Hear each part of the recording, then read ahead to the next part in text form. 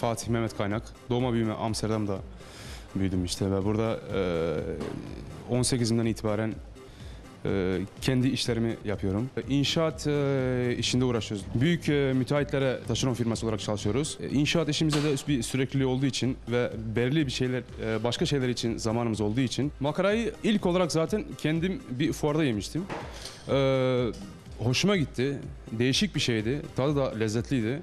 Ve bunu bir e, bir aile kafesi haline getirmeye e, çalıştım işte. Bir konsept kurdum kendi kendime. Sonra işte Ay Yapım makaranın sahibi olarak onlarla diyaloğa geçtim.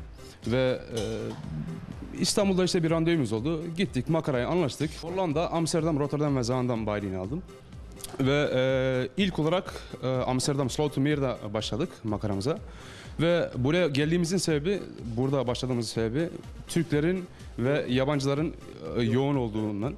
Ve e, bundan sonra da inşallah Amsterdam merkezine, Amsterdam'ın Oost bölgesine, Rotterdam'a e, ve Zaandam'a e, makaralarımızı açacağız inşallah. E, konseptimiz e, e, kahvaltı ve akşam tatlı çeşidi olarak e, %100 bittiği zaman e, makarayı bayilik olarak vereceğiz inşallah. Ve e, böyle aşırı bir meblağda değil yani. İnşallah e, makaranın zaten büyümesi için güzel e, güzel bir fiyatla inşallah sunacağız e, e, isteyenlere. Makaranın e, zaten kendine has bir e, tuzlu kahvaltı makarası vardır.